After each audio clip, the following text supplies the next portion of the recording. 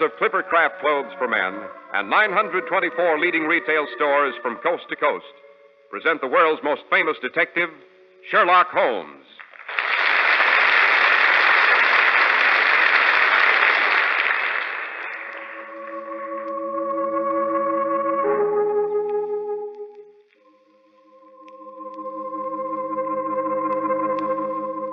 And so once again we find ourselves in Dr. Watson's cheerful firelit study. Outside, a cutting October wind scurries the brittle leaves. But inside, all snug and cozy, with his feet on the well polished fender, sits our favorite host and storyteller. Thank you, Mr. Harris. Thank you. And which of Holmes' fabulous adventures are we to have tonight, sir? But tonight it's the case of the missing heiress. A Canadian heiress, to be exact. Pert and pretty as a picture. And with a mind of her own. I can never forget her father's expression when he discovered the compromising situation. She. Oh, there I go, getting ahead of myself as usual. Well, now, don't look so worried, Mr. Harris. I hadn't forgotten. This is where we say a few words on behalf of a very generous sponsor. Thank you, Dr. Watson. And our sponsor really is generous, in more ways than one. Take the amazing values he gives, for instance. Clipper Craft clothes are just about as fine as can be made, and so modestly priced. I dare say even a Sherlock Holmes would be stumped at how it's done, but it's elementary, Dr. Watson. It's the famous Clipper Craft plan, wherein 924 leading stores from coast to coast concentrate their buying power, assuring you of great savings in manufacturing and distribution costs. As a result, you get the benefit of group buying, plus the friendly personal attention you expect at your own local independent store.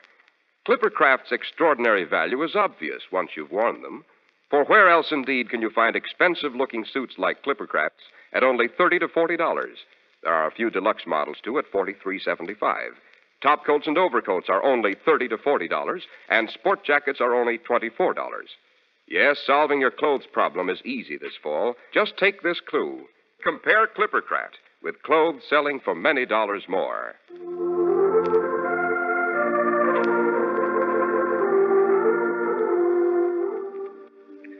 And now, Mr. Harris, to our story. The case of the missing heiress. Put your boots on the fender and make yourself comfortable. Mm, a perfect combination a crackling fire to warm one's feet and a hair raising adventure to chill one's spine. Sounds rather like, like one of those confounded hot and cold shower baths that are the curse of this modern age. Now, in the good old Baker Street days, when one made one's daily ablutions in a tin tub that was filled from a pair of steaming jugs. One got in and out as fast as possible to prevent freezing to death, eh, Dr. Watson? Only in the winter time, Mr. Harris, only in the winter. I remember one bright July afternoon in the year. Well, Let me see. Oh, never mind, it was before you were out of your cradle. I was splashing about in my morning tub. I, I thought you said it was afternoon. when one shared lodgings and adventures with the great Sherlock Holmes, one frequently took one's morning tub in the afternoon or evening.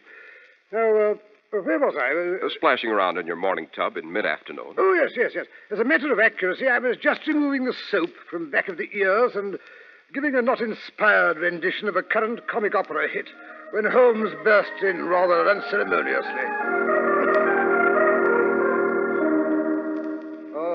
Wandering minstrel, I, a thing of shreds and patches.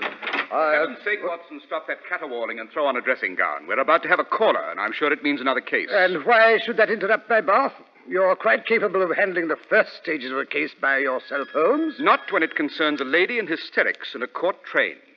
You're much better than I at managing female agitation. Holmes, what are you raving about? An elegant carriage has just galloped up to our curbstone, and without waiting for the footman to alight from the box and assist her, a middle aged creature in full court regalia, complete to the feathers in her hair, bursts out into the street and is even now pulling our front doorbell out by the roots. Oh, Lord, well, uh, Aha, Mrs. Hudson's let her in. She's coming up the stairs. Now, will you come out and protect me? certainly not. Very well, then. I shall be obliged to usher her in here. Oh, no, no, no, no, great Scott, wait, I'm coming, I'm coming. Good Lord, look at me. A fine way to greet a lady. Don't worry. Unless I'm greatly mistaken, she's too upset to notice. Here, tie the cord around your middle. oh, yes, yes, of course. Uh, And you put your slippers on the wrong feet. Oh, confound it. I will... Come in. Mr. Holmes. Oh, Mr. Holmes, thank heavens I find you at home. Why, Lady Oh, Maynooth. Dr. Watson, delighted to see you. Could you give me a glass of sherry? Oh, this is terrible. I'm ruined. And the poor girl, she, Oh, Mr. Holmes, you must find her. You must. Of course, Lady Maynooth, but first perhaps you'd better tell us the name of this damsel in distress and inform us just what difficulty she seems to be in. But that's just it. I haven't the remotest idea. Oh, I don't mean I don't know her name. It's Elizabeth. Elizabeth Bascom. Not Miss Lizzie Bascom, the only child of old Hellfire Bascom, the Canadian Copper King. That's right, Dr. Watson. Oh, quite the belle of the season, I gather. Yes, Elizabeth has certainly been popular. Not that it's made the slightest impression on her. Mm, yes, perhaps that explains her popularity. That and her father's millions. Uh, but why are you so concerned about Miss Elizabeth Bascom, Lady Maynooth? It's been my responsibility to sponsor the young lady through her first London season, to see that she makes the proper social connections and, well, her father is bound and determined that she shall marry into the nobility. I had no idea that George Bascom, more often referred to as Hellfire, was one of your acquaintances, Lady Maynooth. To be quite frank, Mr. Holmes, I've never set eyes on Elizabeth's father, but a, well, a mutual friend, knowing that he was anxious to have her received in the best circles, and also knowing that my own uh, financial position has not been too secure lately, well, well, I was, shall we say, persuaded to take Elizabeth under my wing. I hope you made a profitable arrangement. I did, Mr. Holmes, but I've earned it, every penny. You, uh, you mean the young lady is uncouth in spite of her good looks? Oh, no, Dr. Watson. The truth forces me to admit that Elizabeth is really quite presentable and even lovable when not crossed. But when she is crossed, she takes after her father? Exactly. She insists on going for solitary walks, completely unchaperoned. She strikes up an acquaintance with the most unlikely people. Democratic, eh, Holmes? It might be considered democratic in an ordinary female. But where a young woman of Miss Bascom's wealth is concerned, it's rather dangerous. Oh, how true. We've been receiving, well, not exactly threats, but certainly crank letters ever since it became known that Elizabeth had come to stay with me. But she absolutely refuses to pay heed to her own danger. Says she's been handling situations of that sort all her life, and she refuses to become perturbed about it at this late date. And now it's happened. What has? Oh, well, well, I, I finally persuaded her to take an interest in young Lord Weaverbrook. A very suitable match in every way. In fact, her father is arriving on the next boat in order to announce the engagement. Well, surely that's nothing to be upset about. Oh, yes, but what is he going to do when he finds his daughter has been abducted? Abducted? You mean forcibly? This note was pinned to the carriage seat when I returned and found Elizabeth gone. I gather from your costume, Lady Maynooth, that you were on your way to Buckingham Palace? Yes, Mr. Holmes. After considerable maneuvering, I had arranged to have Miss Bascom received at court. It took a bit of doing, and I'll admit I expected trouble with Elizabeth.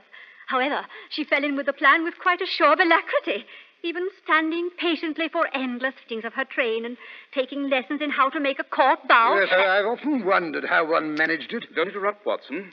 Uh, go on, Lady Maynooth. Today, I take it, was the day. Yes, and more perfect weather one couldn't have wished for. And I must say, Elizabeth seemed to be in high spirits. We were well prepared with the usual hamper of wine and sandwiches and cake. You know that interminable wait in St. James's Park. I, I've thought often that the sight of the ladies in their full regalia on the way to a court function is one of the great sights of London. Elizabeth seemed to share your opinion, Dr. Watson.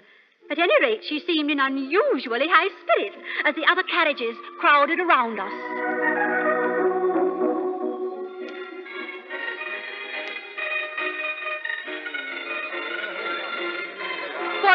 Fun, Lady Maynooth. It's even more exciting than a regatta. All the street musicians and the crowds passing on the sidewalks as if it were a parade. All waving and cheering and calling to us. Oh, there she goes. That's Lizzie Bascom. Elizabeth, my dear, one doesn't wave at them. It's not done. I'm sorry.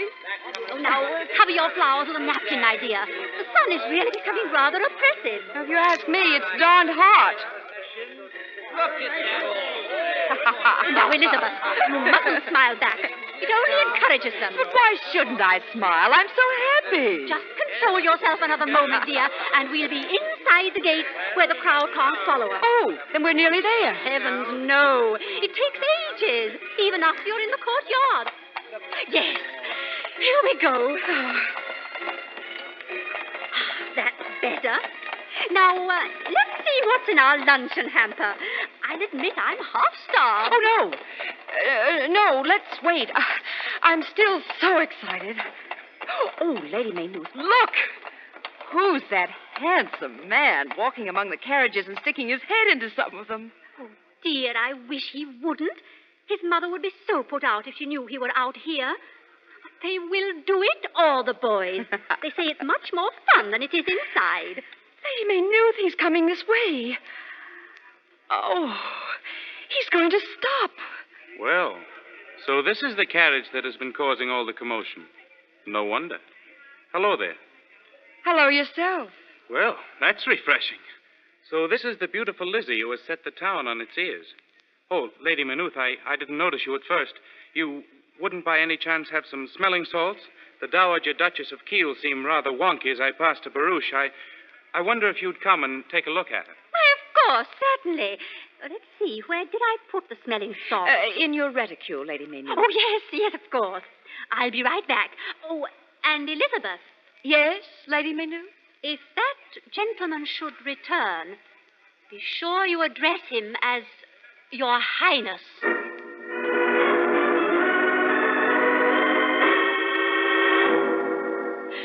And that, Mr. Holmes, was the last I saw of Elizabeth Bascom.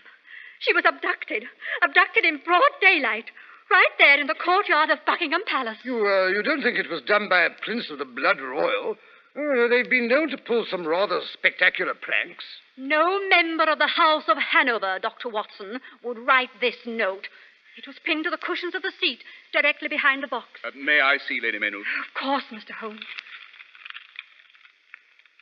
Yes, the whole affair was undoubtedly planned in advance. Well, what makes you say that, Holmes? The words are printed in ink, large, bold lettering, and the paper's been folded.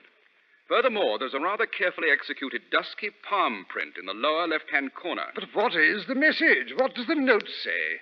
The words of communication of this sort are always the least enlightening part of the epistle, Watson. But just to satisfy your curiosity, I'll read them to you. Dashed right of you. We have kidnapped Lizzie. If you know what's good for her, don't tell the cops. Signed, the Black Hand. Oh, a band of American cutthroats. The words kidnapped and cops are dead giveaway. I've heard of these black hand gangs. Poor Lizzie. Uh, men like that are desperate characters. Oh, dear. We can only hope her father will arrive in time to pay any r- ransom demands.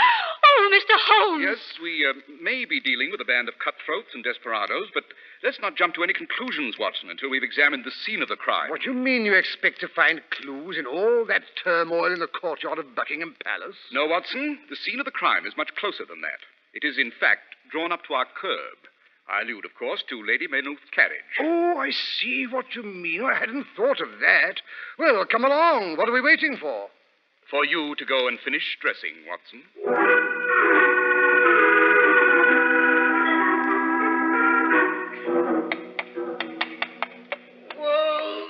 Jonathan. Easy now, Penelope. Handsome horses you have, Lady Maynooth. Thank you. Uh, This is Horace, Mr. Holmes. Horace has been our footman for over 50 years. Hey, man and boy. And that's the truth. Record to be proud of, Horace, in these troubled times. Eh? He's a little deaf, Mr. Holmes. It's his age. I said you've a fine record, Horace. Eh, I have that. Uh, If you'll open the door, please, Horace. Uh, Mr. Holmes is a detective. He'd like to inspect the carriage. I know who Mr. Holmes is, Mum. Everybody knows Mr. Sherlock Holmes. Uh, Horace, when did you first become aware that Miss Bascom was not in the carriage? What? Uh, when her ladyship come back and found your note. You didn't see or hear anything unusual before that. I did not. Henry, he's our coachman, you know, had gone off to help Lord Brunsey's man, uh, who was having trouble with his horses. And I had me hands full holding our horses, uh, but I handled them. Start fellow, Horace. I mean, Horace. Uh, besides uh, which, I'm a bit deaf. Not that you could notice, uh, but it keeps me from hearing things. Hmm, I'm afraid Horace has been a broken reed in this affair. What's that? I said thank you, Horace. Well, let's um, have a look inside the carriage. Uh, give me my magnifying glass, Watson. Uh, Yes, it's interesting. Very interesting. what have you found, Holmes? Bloodstains? On the contrary, there's not the slightest indication of a struggle. Either Miss Bascom left the carriage of her own free will, or she was lured out of it by someone she considered a friend. Very significant. Very. Significant, Holmes, but uh, hardly helpful. Yes, here is her parasol, neatly furled. Surely, if she'd been attacked, she'd have attempted to use it as a weapon. And the luncheon hamper, neatly placed in the corner. Open up the lid, Watson. Uh, very well. Hello. What's up? The silly thing's empty, not even a crumb left. The blackguards! They not only abducted my ward, they stole my lunch as well. What if the pound cake hadn't even been cut into? The scoundrels. Well, Holmes, I'm afraid we've really drawn a blank. No clues, no clues at all. Uh, not so fast, Watson. Here is a long thread of heavy silk. Uh, Lady Maynooth, has Miss Lizzie, by any chance, a garment with a blue fringe in her wardrobe? Yes, of course. Uh, the pelerine that goes over a puce walking suit. But what has that to do with the case? She was wearing full court regalia when she was abducted. That's what makes it so preposterous, really. You know, you couldn't possibly kidnap a lady in a court costume. Hello, here's something in the side pocket of the hamper. Why, that's Elizabeth's guidebook. She was always sneaking off by herself with that under her arm. From the number of times it happened, she must have visited all the sights of London. Not all, Lady Maynooth. I fancy Miss Elizabeth rather specialized in the British Museum. How do you arrive at that conclusion? The rest of the volume volume's rather stiff, showing very few of the pages have been read. But notice how readily the book opens at the portion describing the British Museum. And here, the paragraphs describing the famous Elgin marbles. That page is decidedly dog eared. The Elgin marbles? Yes. Good heavens, I'd no idea Elizabeth was a connoisseur of art. Mm, I fancy Miss Elizabeth is a connoisseur of many things of which you had no idea, Lady Maynooth. Oh, dear, what do we do now? I suppose we'd better consult Scotland Yard. I rather fancy that a certain Mr. Percy Smithers will prove more helpful in this matter. I suggest that Watson and I pay him a visit. Percy Smithers? Who in thunder is he? The famous archaeologist and authority on Greek and Roman relics. He is also curator of the Elgin marbles.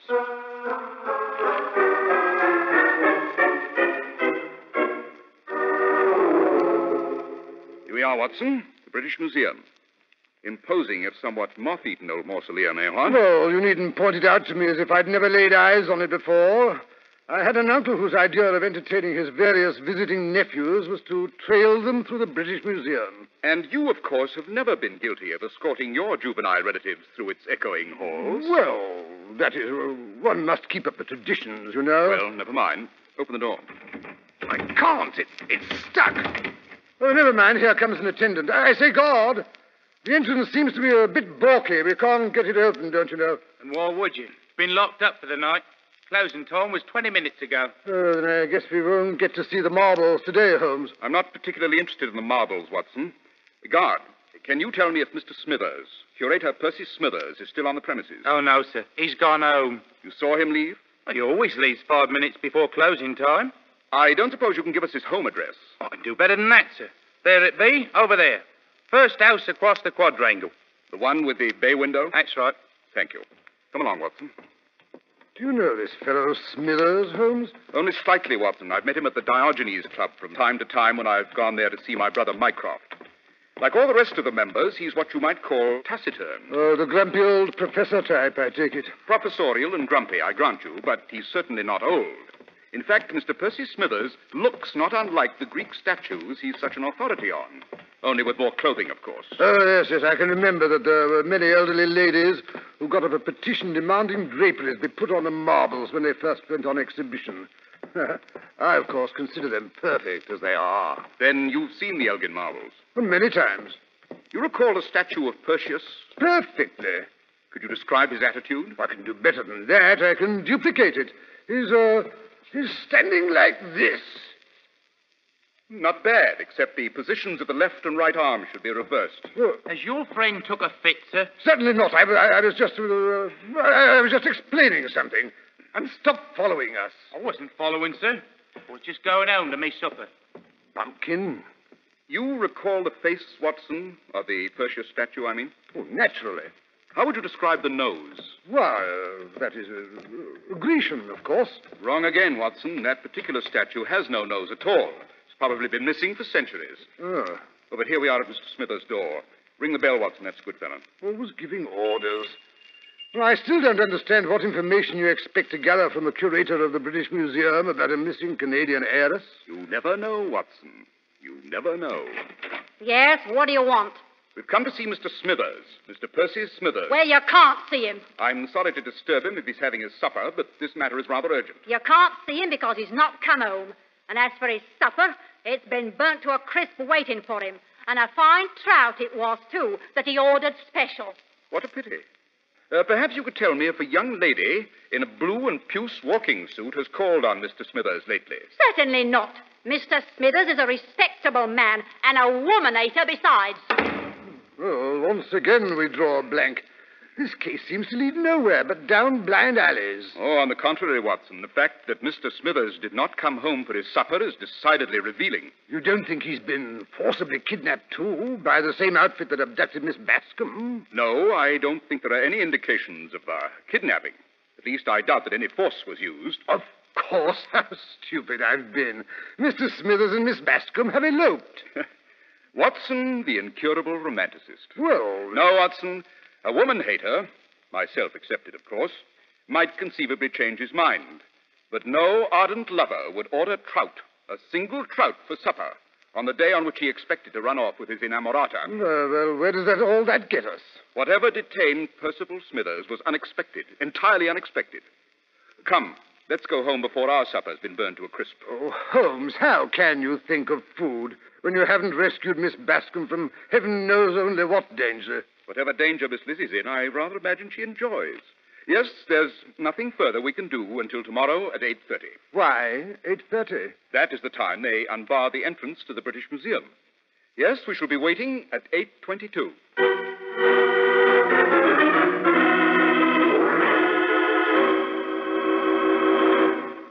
When you note the low prices of Clippercraft clothes, you're apt to be puzzled. How do they do it, you'll say?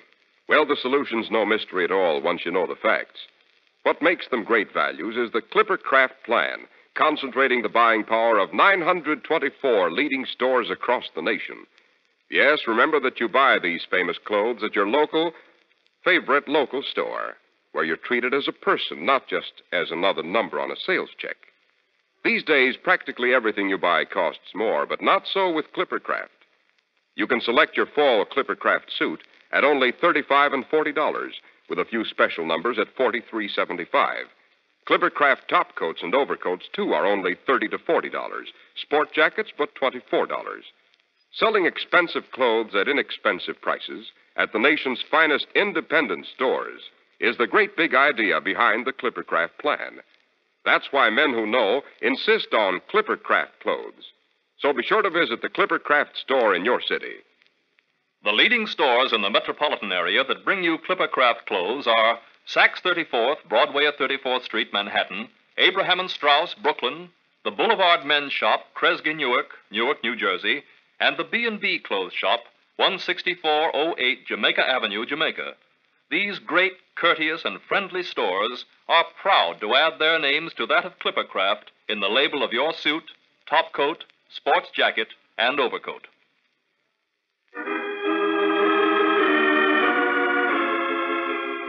Well, it's 8.25, Holmes. Another five minutes and we shall know if your guess is right. I never guess, Watson.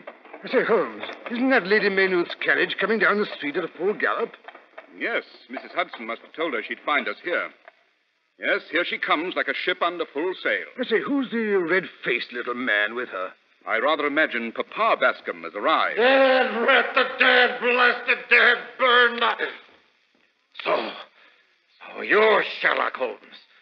Why in blazes haven't you found my daughter? I was right, Watson. It is Hellfire Bascom. How do you do, sir? Good morning, Lady Maynooth. Oh, Mr. Holmes, the most horrible news. The most horrible, horrible news. They haven't found a, a body. No, but first of all, when I returned home last evening, my butler informed me that all the sandwiches, the wine, and the cake had been found in the jardiniere of my best aspidistra.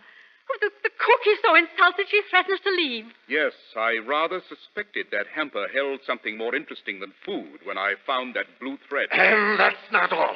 Tell him the worst. Well, this morning, before I'd even had time to have my morning tea, Lord Bruns's man returned Elizabeth's court gown and feathers. They'd been found in his carriage. Why, the scoundrel. Oh, he wasn't in it at the time. He was still at the reception when his coachman discovered the dress. But this makes matters even worse. The poor girl was abducted in her in her petticoats. Yes, the poor, poor girl. Her reputation will be ruined. Ah, blast her reputation, ma'am. She'll catch her death of cold. Calm yourself, Mr. Bascom. I think I may be able to return your daughter with both her health and her reputation moderately intact. Ah. Yes, they're opening the doors now. If you will follow me. What? Into the British Museum? Calm yourself, Mr. Ah. Bascom. A little culture is quite harmless, I assure you.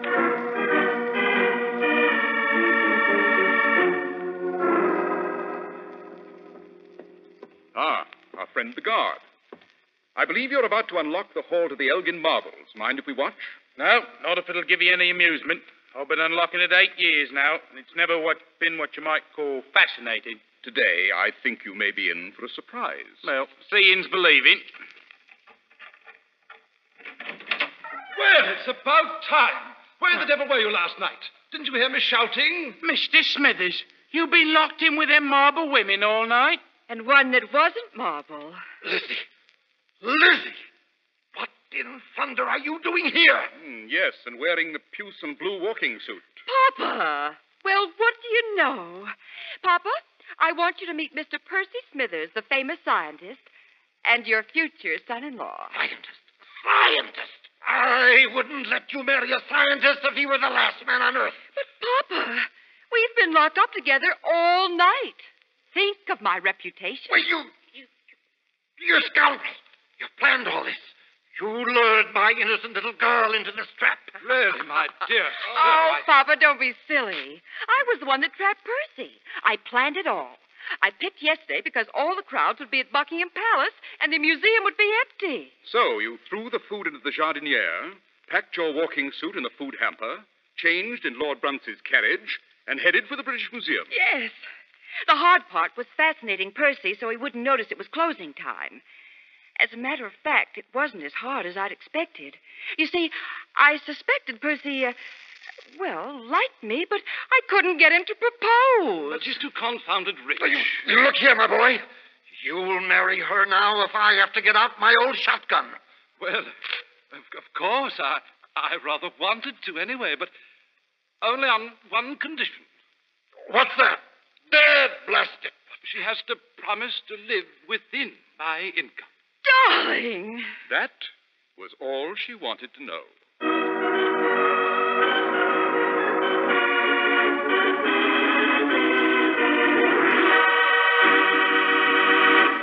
And did Lizzie live within her husband's income, Dr. Watson? Well, more or less. At least if Papa gave her presents from time to time, Percy never knew about it. Uh, how did Elizabeth and her archaeologist get along? Oh, splendidly.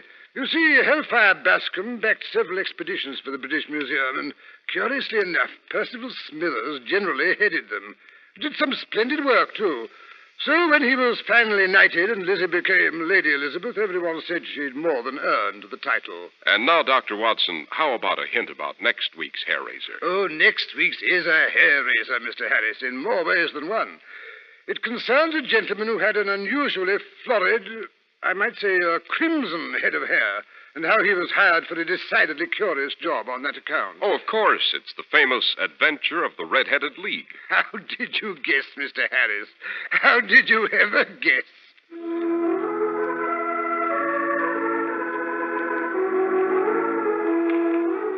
The makers of Clippercraft clothes and 924 leading retail stores from coast to coast have brought you another in the new series of broadcasts featuring the world's most famous detective, Sherlock Holmes. Sherlock Holmes is produced and directed by Basil Loughrane, and our stories are written by Edith Meiser, with special music by Albert Buhrman. Holmes is played by John Stanley, Dr. Watson by Alfred Shirley. If you don't know your Clippercraft dealer, write Clippercraft, 200 Fifth Avenue, New York City. Be sure to listen next week to Sherlock Holmes in the adventure of the Red-Headed League. If you wish to attend the Sherlock Holmes broadcast in New York, see your local Clippercraft dealer, and he'll tell you how to obtain tickets. Cy Harris speaking for Clippercraft Clothes. Is the Mutual Broadcasting System.